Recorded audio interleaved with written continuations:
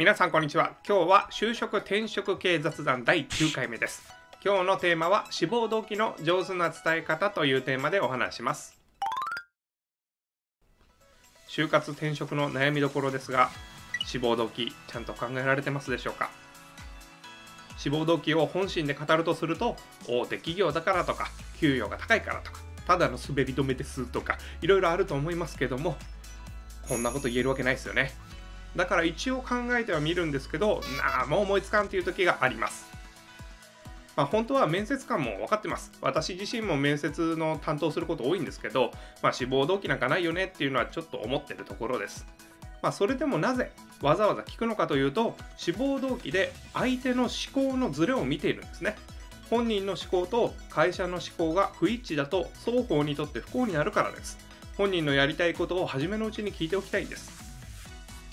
ということは会社が求める人材とは会社の思考と一致した思考を持った人材だと言えると思います。で会社の思考とは何かというと企業が掲げるミッションビジョンバリュー経営理念経営戦略などで示されている会社の目標のことです。どこに向かっているのかというところですね。会社の思考に一致した人物とはどういう人間なのかというと会社の目標の達成に貢献してくれそうな人物なことを言います。こういう人が欲しいんですね。採用したいなということになっていきます。ということはいい志望動機っていうのは会社が求める人物が言いそうな志望動機だと言えると思います。いい志望動機を作るためにはまずは会社の思考を調査しないといけないですね。ということで調べ方ですが会社の思考目標などは基本は上場企業であれば決算説明会資料に書いてあります。で非上場企業非公開会社の場合は会社のホームページや社長のインタビューなどを熟読しましょう。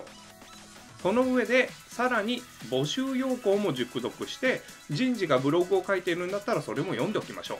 で採用ページっていう特設ページが作ってあることが多いのでそういったページもできるだけ読んでおきましょう。その上で求められる人物ならどういう表現をするかなといういい感じの志望動機を考えてみましょうね。コツとしては自分と会社の思考の一致点を探すというイメージでいるといいと思います。一致している点を上手に志望動機に織り交ぜてください。あくまでも一例ですが例えば自分自身が海外で勤務したいなと将来は海外で働きたいと思っているそういう思考を持っているんであれば海外での事業展開が多い企業を受けるといいと思います。また専門職で働きたい場合は専門職が多い企業総合職で働きたい場合はジョブローテーションを採用している企業研究者として頑張りたい場合は研究職を募集している企業に応募するといいでしょう。一応悪い例も示しておきます。国立大学の理系出身の A 君、まあ、この子私の知り合いだったんですけど、まあ、この子は去年無事卒業しまして、まあ、将来は海外で仕事がしたいって言ってたんですけど何を間違ったか日本国内のみで事業を行っているビザに応募したんですね、まあ、これは残念ながら書類選考時でした。